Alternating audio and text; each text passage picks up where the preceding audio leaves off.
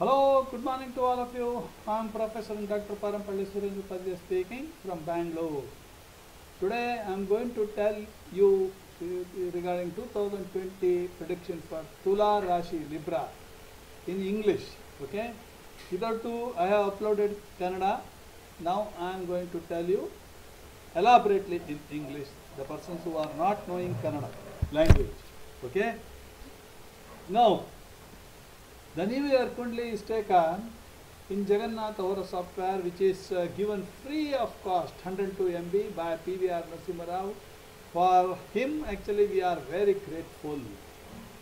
Okay, if you take out on 1st January 2020 at the sunrise time that is 6:45 21 seconds at Bangalore latitude and longitude 12 degree 59 minutes and uh, 77 degrees 35 minutes. You will get the Kundali as shown on the screen. It is Sagittarius uh, ascendant. In the ascendant itself, the Lord Jupiter is there. Ninth Lord Sun is also there. Second and third Lord Saturn is there. Seventh Lord and tenth Lord Mercury is there. Ketu वैराग्य कारक मोक्ष कारक सन्यासी कारक ज्ञान परम ज्ञान कारक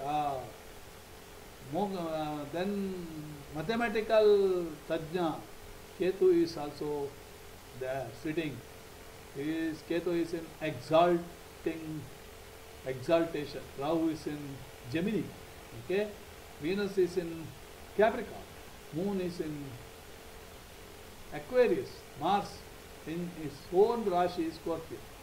Okay, this is the Kundali of New Year 2020. Munta, Munta is also there in Sagittarius. So that means for Sagittarius people, the year 2020 is very very good period. Even for Aries ascendant, that is uh, even I have seen D.K. Shivkumar's horoscope. For them also it is uh, Sagittarius becomes ninth house and hence it is a very good period for them. Okay? So we should tell about how to get Year Kundali. That is already I already told. So there is no need to repeat the things. Okay? Now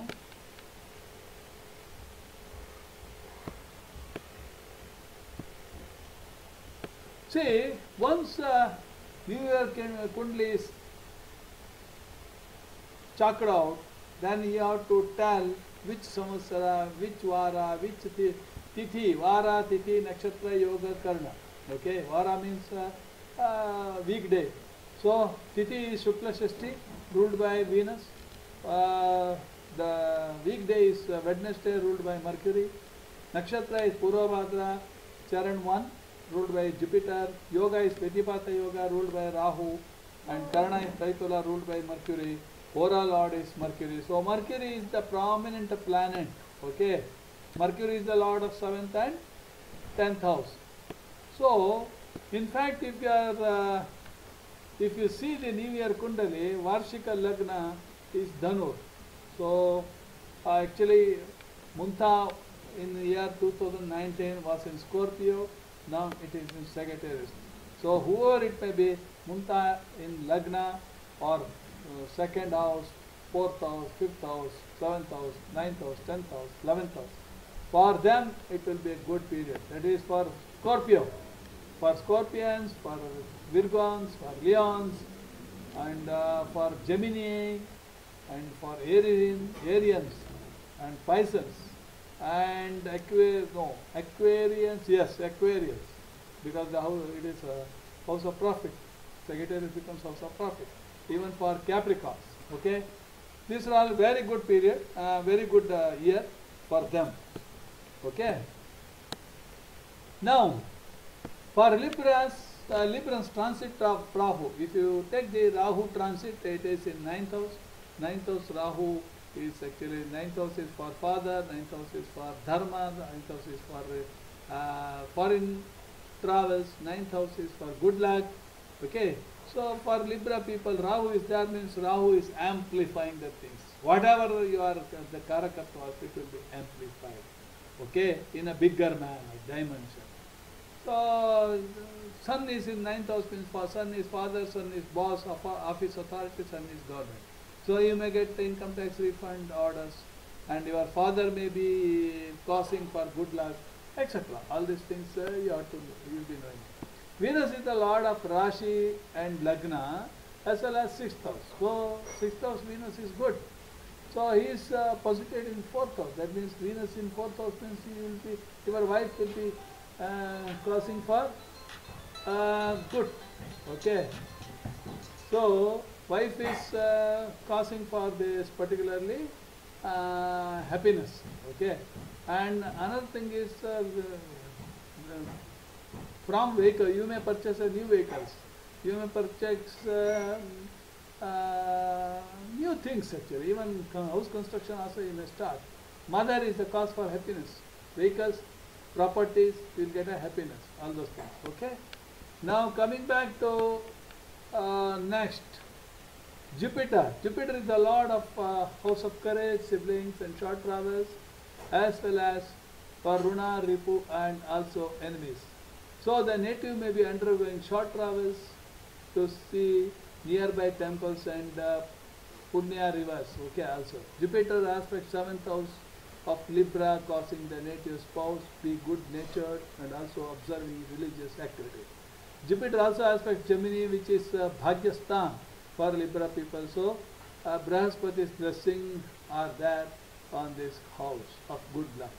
Jupiter also aspects Leo, which is a house of profession for Librans. Hence, Librans may be getting some uh, sweet news as far as their profession is considered. Okay? Now, the Lord of the ninth house as well as twelfth house, Mercury, is in the house of courage, siblings, and also house of short travels. Hence, more of his good luck will be going towards the siblings. Siblings may be undergoing for short travels. Okay. What else actually? Next, uh. In fact, uh, Scorpions, Aquarians, uh, okay, that's already I told you actually.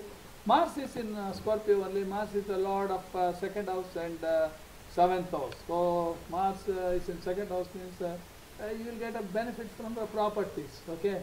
So that is good actually. Uh, Ruchaka Yoga, for your information, Ruchaka Yoga is going to be created. Okay. Now, see, whenever you analyze the horoscope, you should see which tattvas, which nakshatras, planet, planets are in which nakshatra, all those things you have to observe.